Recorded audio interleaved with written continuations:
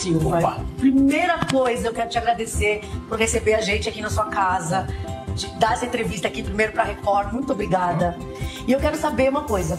Como que você tá? Como que você tá se sentindo depois desse susto aí que você passou? É, na verdade, eu já sabia que um dia eu ia ter que cair na mão do, do Antônio Fábio Gaiotto, que é meu amigo, um dos cinco maiores cirurgiões do mundo. Eu sabia que ia ter isso. E eu fui levando com uma estratégia do professor Fernando Bacal para que fosse até o momento certo para fazer essa, esse tipo de cirurgia. Então não foi surpresa para mim. Agora, antes de mais nada, eu queria dizer que, como você lembrou, Fabio, não só pelas ligações que a gente tem pelo teu pai, que foi meu amigo, meu colega, Guilherme Amaral, que eu jamais vou esquecer. A verdade é o seguinte, é, eu já tenho, sempre tive pela Record um carinho especial. Foi lá que eu comecei em 1969 e eu tive anos maravilhosos da minha vida na Record, mesmo com Perdidos da Noite também.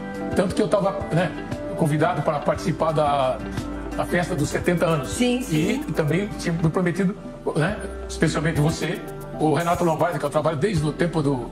Nossa Senhora, do tempo que era a televisão a lenha, a rádio a lenha. O Renatinho e o Gotino, que vim participar do programa. Mas, por enquanto, o que dá para fazer é só aqui mesmo, assim, não tem jeito. Ah, é, então, eles gostam muito de você, inclusive man- te mandaram um abraço. Depois eu queria Beijão até todo mundo aí. saber se do Lombardi, já trabalhou com o Lombardi, depois eu quero até saber se ele era muito rabugento, depois você me conta. Não, naquela época, tempo, não. porque ele é o meu malvado favorito, É, mano. é verdade. Ele é um personagem. Ele é ótimo. Você é um dos maiores criadores de bordões aí. Ô, louco, meu. É, errou. A gente usa muito errou lá no Balão Geral, viu?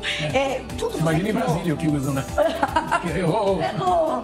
Tudo criação sua, assim, a maioria. É, muita coisa aconteceu na. Acontece assim na, no, no improviso.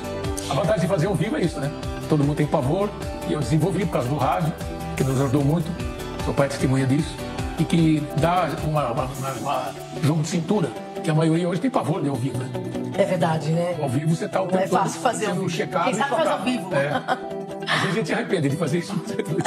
Quando que volta a, a pizza do Faustão, hein? Agora vai demorar um pouco aí. Tem, tem que ter é, pizza com. Gotino Lombardi, eu já participamos, participamos uma vez. Olha, pizza com fisioterapia vai ser bravo. E quando você recebeu a notícia, olha, não tem mais jeito, agora você vai precisar de um coração novo. Na hora, assim, é, é, você chegou a, a- Você chegou a pensar no pior? Como é que foi acordar depois do transplante e pensar assim, eu tô vivo? Esse coração novo, assim, dá, você mudou alguma coisa dentro de você? A pergunta que todo mundo quer saber. O Faustão volta pra televisão? Vou contar tudo, até porque eu comecei minha carreira há 300 anos atrás na própria Record. Estou à disposição da galera do Domingo Espetacular. É o Domingo dos Transplantados.